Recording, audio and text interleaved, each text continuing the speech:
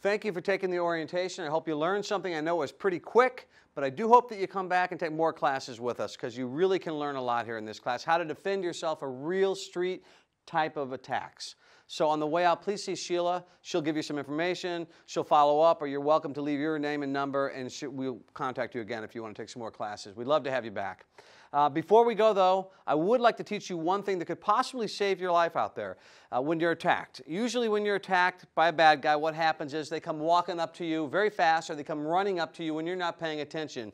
You may be, be talking to your friend over here, be on the phone, and it's making you a victim. And it happens to all of us, okay? You could just be anywhere at any time and someone will come running up at you and attack you. But there's a really easy technique that could save your life. It's called the stiff arm and spin. It's just a stiff arm, just a just like that, and you use the, their, the attacker's momentum to spin them. So, um, what is your name? Dave. Dave, do you mind helping me?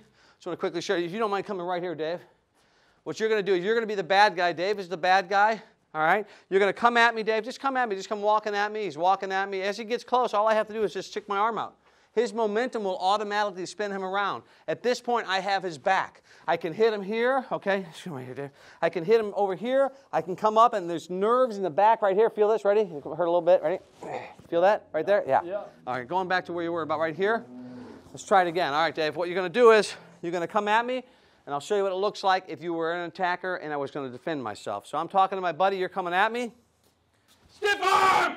Comes down. I drop down to the base. Right now, I can do what I want because I have his back. If I want to hit him here, I can hit him. If I want to come underneath like so, I can. But come in like that! You see what I'm saying? You, can do him! You can hit him!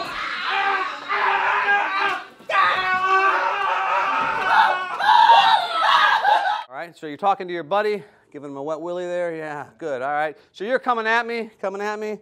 Right here, I just put my arm up, boom, down in the base, down in the base. Right here, I have him. I can do whatever I want. Right here, I can hit him back here if I want. Come underneath like we're talking about. Right.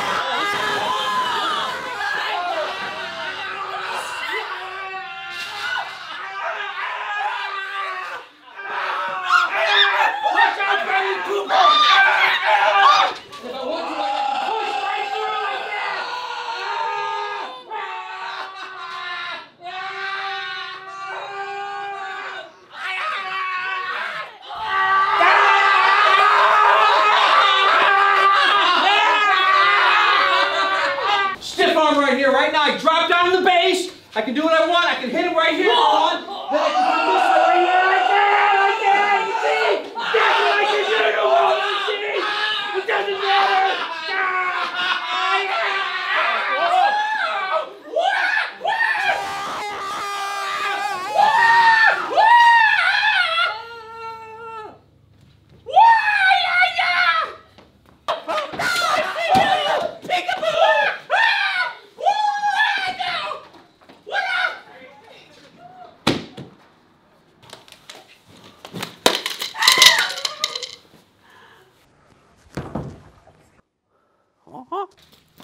My class. My class!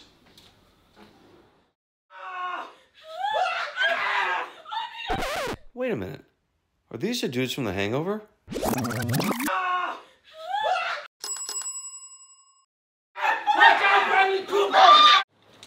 Hey man, who are you? Take a seat, I'll be right with you. Hey, get out Class will start soon. This is my Relax. studio, man. Hey, hey. What are you doing in my studio? This is your place? Yeah. Can hire you, man. It's a nice place. Trying to take over. Yeah. I can fight you for it if you want. I can fight you for it. Come back here. Hey, hey, hey.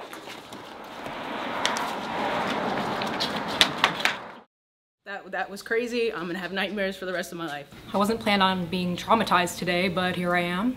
Is there a bathroom here? I might have pooped a little. I don't know. I, I gotta get out of here. I'm technically still on parole. That's what I was on. I'm like, nah, I ain't trying to be the hero, be the tough guy. I saw blood. I saw. I'm like, well, no, no, I don't want nothing. I just want to throw up.